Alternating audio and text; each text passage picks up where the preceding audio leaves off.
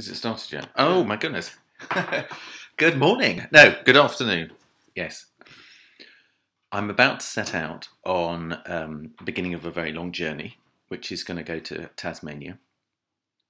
And um, as I've never been to Tasmania, as I've never been to Australia, um, and I've got a suitcase full of pigments and paper and brushes so it's all empty, empty stuff. And all I know is that I really want to respond to the colour yellow.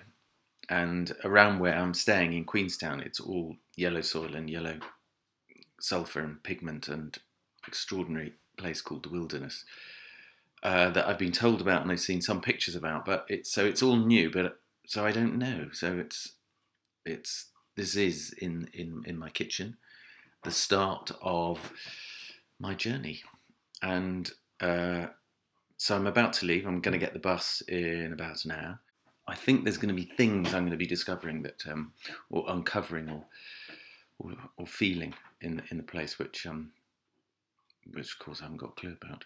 But that's really what my work's about. It's about the unseen, the un, the, un, the stuff you feel. Um, that's about it, really. So uh, lots of films, uh, lots of reading, food, um, and then on Monday morning at about twelve thirty, I will be meeting um, Raymond. Yeah, put my glasses on. I can read really what I'm supposed to be thinking about. Um, yes, Boards of Canada. That is going with me too. The whole point of this is that I am doing a vlog for you all which is, um, and as you already probably realised, I haven't got a clue what I'm doing. So it's all rather a new, new adventure.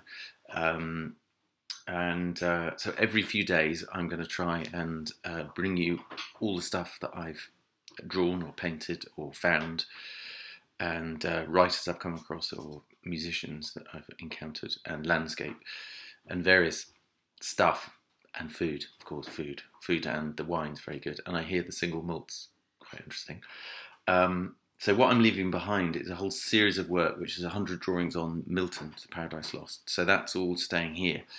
So even though I'd quite like to bring the drawings with me, um, my 300, no, my 30 kilos won't allow me, or my seven bag, seven kilos of bag baggage, hand baggage, which is pathetic. I mean, it's just I could hardly put a couple of books in, so or a cat. Um, so there we go. So I'm about to go. So goodbye and see you soon.